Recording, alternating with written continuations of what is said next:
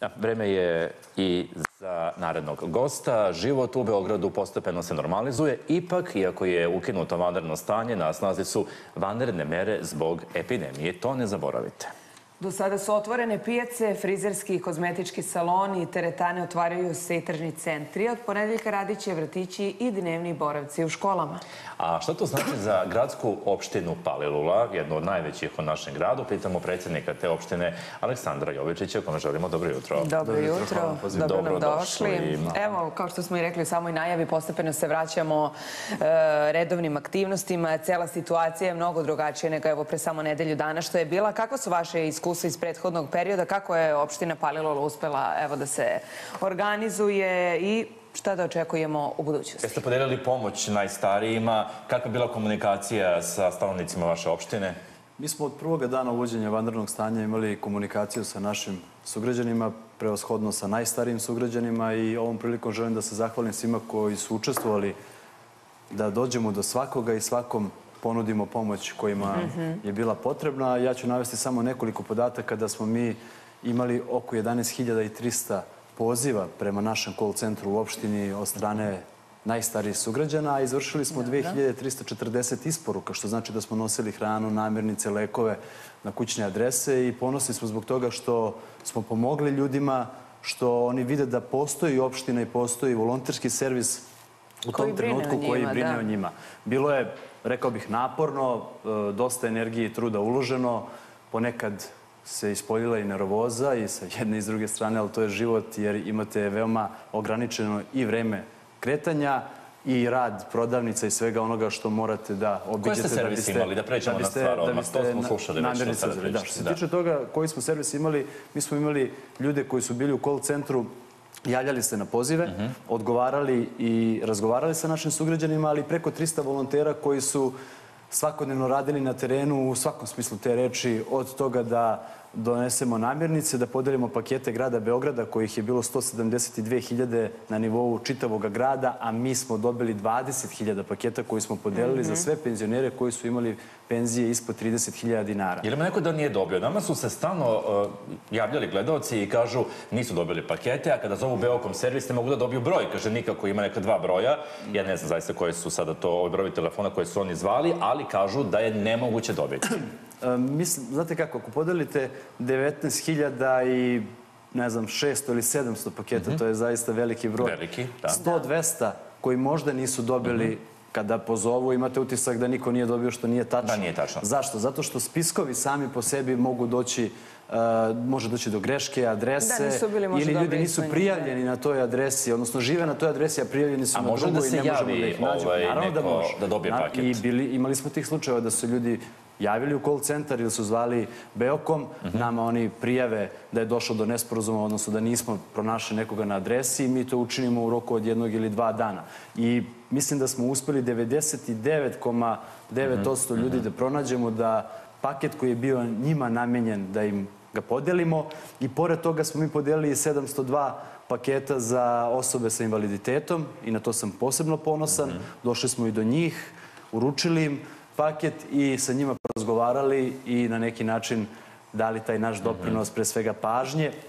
A naravno i taj paket je jedan simbol pomoći u ovom teškom vremenu kada ne Naravno, da rekli izađu. smo dobro koje su to usluge opštine bile dostupne, kako će to izgledati u budući, kako će, s obzirom na to da su na snazi ostale vanredne mere, iako je ukinuto vanredno Da, stanje. mi ćemo i dalje imati call centar gde će građani u ovom trenutku, pošto se ukida vanredno stanje, a, najstariji sugrađani moći da nas kontaktiraju i mi ćemo i dalje nastaviti naš posao sve dok bude bilo potrebe za time. A ono što bih takođe najavio, a to nismo rekli u sklopu ovoga, mi smo organizovali dezinfekciju svih ulaza na teritoriji naše opštine koje ima 2400. Radimo tri kruga a, deratizacije, dezinfekcije i svega onoga da bismo na svaki mogući način zaštitili zdravlje naših sugrađana. Ako pomnožite 2400 puta 3, onda možete da vidite koliki je to posao, obzirom da se opština prostire na 450 km kvadratnih i da je veoma razruđena a imate stambene jedinice u smislu zgrada od Padinske skele pa sve do centralnog dela našeg grada, ali ne žalimo se, radimo, imamo ljude i opet želim da se zahvalim svima i volonterima iz Crvenog krsta, policije, ljudi koji su nam se priključivali, mladi ljudi, da im kažem jedno veliko hvala jer su pokazali solidarnost, toleranciju u ovim teškim vremenima. I evo konačno sad možemo da kažemo da je to negde ostalo iza nas i da sumiramo utiske, ali mislim da je rezultat bio zaista dobar i da smo eto, uspeli da ljudima poklonimo pažnju, vreme, energiju i sve ono što oni mislim da će znati da cene, jer postoji servis koji za njih radi, a to jeste opština Pavlovo. Bravo. Dobro. E, ono što je važno, da malo sada krenemo konkretno na neke radove, e, radi se uveliko na Tašmajdanu, e, to je samo jedno od gradilišta na teritoriji vaše opštine. Šta se tačno sređuje na sportskom centru i dokle su stigli radovi?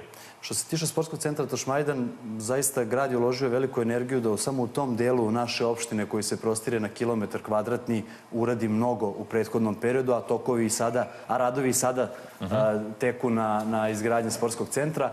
Naime, sređuje se bazen i unutrašnji i spoljašnji, koji će, mislim, 30. juna biti u funkciji. Ako govorimo o sportskom centru, urađene su i sređene teretane, tuševi, tuš kabine, um, e, takođe slačionice. Sve je sređeno u prethodnih tri godine i zaista jedna velika pohvala sa te strane. Takođe, stadion Tašmajdan je sređen i uređen. Hala Pionir koja je po- kompletno sređena, ali u tom potezu gde govorimo o užem centralnom delu opštine Palilula, rekonstruiše se peta gimnazija u potpunosti, urađena je fasada na petoj gimnaziji, Pavlovska pijaca koja je izgrađena, ulica 27. marta koja je kompletno rekonstruisana, Rooseveltova ulica, samo u tom jednom delu koliko je stvari urađeno, a da ne govorimo o tome da se nastavljaju projekti koji su započeti pre korone, Sada se radi George Washingtona. tako je, sad počinje se Đorđa Vašingtona, radit će se i ulica Ilije Garašanina, koja prolazi baš pored sportskog centra Tašmajdan i pete gimnazije. U tom jednom delu mnogo stvari urađeno, mnogo novca uloženo. Kako očekujemo kraj bez- tih radova? Svakodnevno prolazimo tu da nikako da... Pa što se tiče sportskog centra pa znate kako, vi imate taj osjećaj da konstantno neki kraj očekujemo, ali mi ne očekujemo kraj radova jer konstantno se nešto novo radi, novca ima iz realnih prihoda, realnog budžeta, jedna domaćinska politika koja se vodi na nivou Republike pre svega, a to je da nemamo skupocene kredite u gradu, nemamo u državi da bismo se zaduživali, pa bi to prolongiralo ne znam nija koje vreme za samu pre svega dokumentaciju, a i radove. Ono što se nas tiče i šta mi radimo u ovom konkretno periodu, sportski centar koji će biti završen do juna, takođe Borča o kojoj smo malo prije pre emisije govorili. Hoćete Borču sada da otvorimo? Do, otvorit ćemo Čekaj, Dom zdravlja. I opet Dom zdravlja, to je centralni deo i to je već u fazi završetka. E, to će se završiti Ali do, Beograd do nije samo centar grada. Ali Beograd nije samo centar grada i mi gledamo da vodimo jednu ravnomernu ili ravnopravnu politiku. Borča Šta se dešava sa svakoga Borčom? dana sve smo bliži kraju tih radova na Domu zdravlja. 758 miliona, čini mi se da je projekat, tačno u dinar. Mi u novembru ili da kažemo mesec dana sa zakašnjenjem zbog koronavirusa u decembru imamo otvaranje Doma jednog zdravlja. od najlepših domova zdravlja u Beogradu koji se prostire na 7.500 e, metara kvadratnih, koji će imati sve što je neophodno za naše ljude da ne moraju više da prelaze Pančevački grad i da tamo traže e, zdravstvenu negu i zaštitu. Imaćemo to sve u Borči, plus ono što je meni možda i najvažnije, imaćemo hitnu pomoć u tom domu zdravlja, što znači da ćemo spašavati više života, nećemo gubiti vreme na transport preko Pančevca. To je nešto što je veoma važno. Dobro. E sad ono što je, ja bih rekao možda i u ovim nekim momentima važnije, s obzirom da to slušamo godinama unazad, a to je kanalizacija u Borči, tačnije sa te leve strane Dunava. E, vi ste tu nešto počeli da radite, međutim imamo neke, ovaj, da kažemo, tonove iz opozicije i kažu da je ta stavka izbrisana i da je više neće biti u, u budžetu grada. Da međutim, imamo kredit Evropske da. investicione banke, jednim većim delom, a jednim manjim delom to finansira grad Beograd. E, šta je istina? Jesmo negde na sredini ili vi imate neku drugu Što se informaciju? tiče opozicije, veoma je čudno da, evo konkretno ako pominjemo bivšeg gradonačelnika Dragana Đilasa, ne poznaje te ekonomske pojmove, da vidi da ne možete nešto skinuti iz budžeta što su potpisani ugovori u smislu garancije kredita koje smo potpisali sa Evropskom investicionom bankom u Luksemburgu. Kanalizacija ostaje i taj projekat će nastaviti svojim tokom da se razvija i koronavirus i bilo kakvo stanje u budžetu neće poremetiti taj projekat. I u prilog tome mogu da kažem ljudima da će već od ponedeljka u njihova domaćinstva doći projektanti, geometri koji će projektovati kanalizacijnu mrežu od njihovih kuća do glavnog toka koji će proći kroz njihovu ulicu. To nije u prvobitnom projektu bilo namenjeno, to su građani trebali sami da finansiraju. Mi smo u dogovoru sa gradom Beogradom e, rešili da mi to finansiramo, što znači da će građani dobiti kompletan projekat i izgradnju kanalizacione mreže od izlaznog tog izvoda iz kuće do do u tog voda koji će proći kroz njihovu ulicu, a ono što ćemo uraditi, izgradit ćemo i revizione šahtove u njihovim dvorištima. Zbog toga smo mi potrošili tri meseca, ušli u 3850 kuća, u desetine zgrada gde smo tražili saglasnost tih ljudi da nam dopuste da uđemo u njihova dvorišta, izmerimo, premerimo sve. Kad kažem mi, mislim na firme koje će to raditi, koje su usko specijalizovane za to, da bismo direkciji za građevinsko zemljište grada Beograda dostavili kompletnu dokumentaciju. Oni pokrenuli već u drugoj polovini godine taj generalni tender koji traje mesec dana, a već sledeće godine krenuli u još dinamičniju izradu a, kanalizacijone mreže, a u ovom trenutku dok me ne prekinete, u naselju Braće Mareć u Krnjači Uradili smo prvu fazu, sada smo krenuli, vidjeli ste sa zamenikom gradonačelnika, smo to obišli drugu fazu. Radimo uh, fabriku za prišljavanje voda koja će biti tu, odnosno crpna stanica broj 2, da kad sve to povežemo imamo jedan funkcionalni deo priče da može da se ta voda fekalna preradi i pusti u Dunav onako kako zakon nalaže sa svim evropskim standardima. Jeste završili? Nismo vas prekidali. možemo sada mi. Možemo Ja da. sam stavio zarez, sad možete. Ajde ovako da se pozabavimo malo predizbornom kampanjom i to je tema koja je u fokusu. Ona se nastavlja iduće nedelje, tako je pa da polako zaključujemo razgovor. Neće biti masovnih i većih skupova u maju. Kako će to uticati na samu kampanju? Kako ste osmislili, kako ćete stizati do glasača?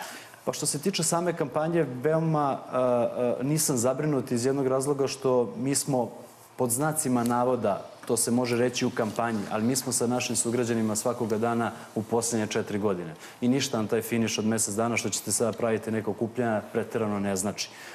Nažalost, postoje oni iz opozicije koji misle da je sve u 5, 10 ili 15 ljudi u poslednjih 15 dana. Ali ljudi, vi ništa niste radili poslednjih četiri godine. Vi ste videli juče Boška Obradovića koji se pojavio posle dve godine u Skupštini. On je više vremena proveo izvan Skupštine, lupajući zastavom o vrata, praveći e, cirkus ispred Pa Skupštine. Juče je ušao i Skupštini, opet napravio cirkus opet u Skupštini, da, bio što znači da performans. a, a, i kada nam sve to doprinesete i tome da napadate i porodicu predsjednika Vučića, njegovu decu i tako dalje, onda vidite da vi suštinski nemate sa kim da se takmičite jer nemate s druge strane plan, program, nemate posvećenost narodu, nemate nekoga ko će obići svaku kuću sa svima porazgovarati, a sa druge strane mi već četiri godine svakodnevno smo sa našim sugrađanima i kada je teško, kao što su bile poplave na Palule ili kada su bile u Obrenovcu ili koronavirus u čitavoj Srbiji, a i kada je dobro, odnosno u smislu kada možemo da radimo, pravimo infrastrukturu, a, obnavljamo vrtiće, škole, bolnice i sve ono s tim u vezi, ja mislim da generalno od toga da li ćemo se okupljati ili nećemo, mislim da imamo rezultate koje možemo da pokažemo i planove za narednih četiri godine koje građani tekako prepoznaju, nešto što zaista suštinski za njihov život veoma važi, je veoma važno, a ne lupanje o šerpe, žviždaljke ili ne znam nija šta već rade ovi koji misle da mogu na taj način da dođu na vlast. Dela, a ne veliko. reči. Hvala vam, gospodine Jovičiću, što ste bili ovog jutra sa nama. E, naš gost, predsjednik opštine Palilula, Aleksandar Jovičić.